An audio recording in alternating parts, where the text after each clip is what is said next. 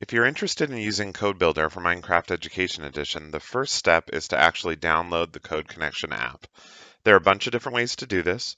First, you can use our short link at aka.ms slash download.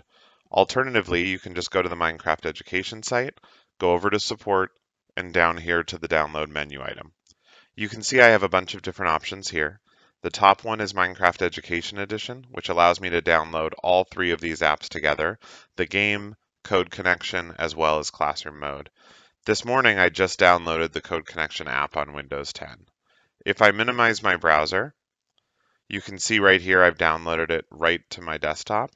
I'm going to go ahead and double click that installer on my Windows 10 device. It'll just take a moment and say welcome to setup for code connection. I'll click next. I actually already have this one, so it'll give me the options to repair or remove. If you get this, it means it's already on your device. Alternatively, you can click your way through next and get the install all done. So I'll close this installation and hit finish.